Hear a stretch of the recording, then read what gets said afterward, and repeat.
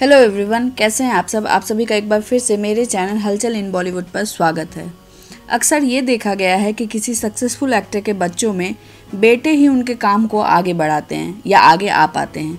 लेकिन Johnny liver के case में जॉनी लीवर की बेटी जैमी लीवर, उनके बेटे जेसी लीवर से ज़्यादा पॉपुलर और नून है।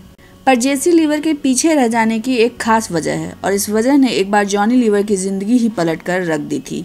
इस वजह को बताने के साथ साथ इस वीडियो में मैं आपको ये भी बताऊँगी कि जॉनी लीवर के बेटे जेसी का ऋतिक रोशन से काफ़ी खास, पुराना और गहरा रिश्ता है।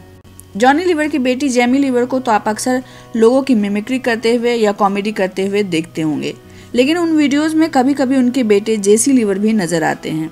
लोग जेसी लीवर के बारे में कम ही जानते हैं, क्योंकि ना तो कहीं वो अपने पिता की तरह कॉमेडी करते नज़र आते हैं और ना ही अपनी बहन की तरह मिमिक्री करते। इन दोनों के उलट उनकी पर्सनालिटी काफ़ी अलग है।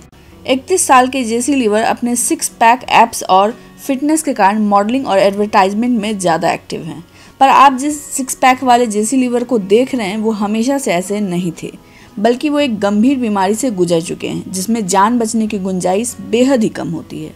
आप ये जानकर चौंक जाएँगे कि जेसी लीवर जब 10 साल के थे, तब उन्हें गले का कैंसर हो गया था।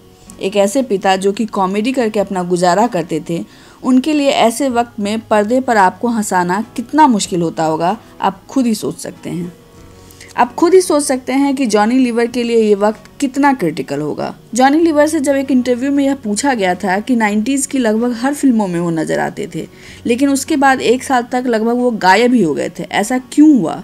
तो इसके जवाब में उन्होंने कहा कि साल 2000 में मेरे बेटे को ट्यूमर डिटेक्ट हुआ था। इस बात ने मेरी पूरी दुनिया ही पलट कर रख दी और मैं यह भूल ही गया था कि कॉमेडी कैसे करते हैं। उस साल मैंने सिर्फ़ एक फ़िल्म और एक शो में काम किया था। मैंने फाइनेंशियल क्राइसिस से जूझना बेहतर समझा, लेकिन कोई ऐसा काम मैं नहीं करना चाहता था जिससे मेरे काम की वैल्यू कम हो। जेसी लीवर को परिवार का पूरा सपोर्ट मिला और वो इतनी कम उम्र में भी कैंसर से उबर पाए, लेकिन बारहवीं पास करने के बाद वो आगे पढ़ना नहीं चाहते थे।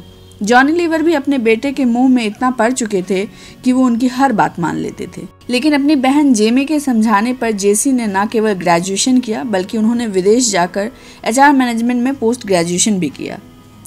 जेसी शुरुआत में अपने पिता की तरह ही कॉमेडियन बनना चाहते थे, लेकिन स्कूल में होने वाले उनके खराब कॉमेडी परफॉर्मेंस ने उन्हें जल्द ही यकीन दिला दिया कि उन्हें कुछ और करना चाहिए।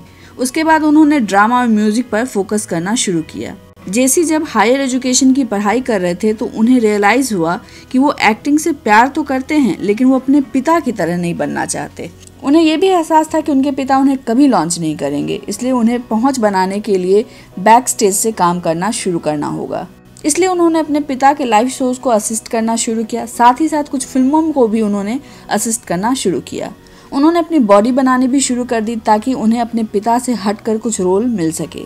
इसका नतीजा ये निकला कि आपने उन्हें एक्शन थ्रिलर मूवी वॉर में देखा होगा। चलिए, जब वॉर मूवी की बात आ ही गई तो मैं आपको ऋतिक रोशन से उनके कनेक्शन के बारे में बता देती हूँ।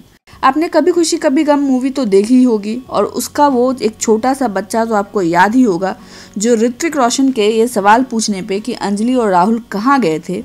उसने ये जवाब दिया था कि, चुप, मैं बताता हूँ, हल्दीराम का थोड़ा खिसका है, वो लंदन गए हैं, एक दिन मैं भी लंदन जाऊँगा। उस बच्चे के किरदार में जेसी लीवर थे। कमाल की बात यह है कि उस डायलॉग में वो बोलते हैं, एक दिन लंदन मैं भी जाऊँगा और एमबीए की पढ़ाई करने वो लंदन ही गए थे। उस फ़िल्म में उनकी उम्र मात्र 11 साल की थी और इस फ़िल्म में ही पहली बार उन्होंने ऋतिक रोशन के साथ काम किया था। उसके बाद जेसी लीवर जब 29 साल के हो गए, तब 18 साल बाद फिर से उन्होंने ऋतिक रोशन के साथ वॉर मूवी में काम किया। इस फ़िल्म में उनका अंदाज और टशन दोनों ही अलग था। इस फ़िल्म में वो सिक्स पैक एप्स के साथ एक्शन करते नज़र आए।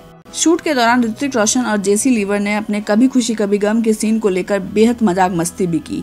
फ़िलहाल जेसी ने केवल तीन ही फ़िल्मों में काम किया है, जिसमें इन दोनों फ़िल्मों के अलावा ये साली ज़िंदगी भी है। इसके अलावा भवन ईरानी के साथ वो एक तेल के एड में भी नज़र आए जैसे सिनेमा में उतने एक्टिव तो नहीं है, लेकिन वो इंस्टाग्राम पर बेहद एक्टिव हैं। उनके इंस्टाग्राम पर एक लंबी चौड़ी फ़ैन फॉलोइंग है। उम्मीद ये है कि जल्द ही वो अपने बहन और पिता से अलग एक पहचान बना लेंगे और आपको एक नया जेसी लीवर देखने को मिलेगा। आज के लिए बस इतना ही। अगर आपको ये वीडियो पसंद आता है, इसे लाइक और शेयर करें। चैनल को सब्सक्राइब करना ना भूलें और वैक्सीन ज़रूर लगवाएँ। Thank you so much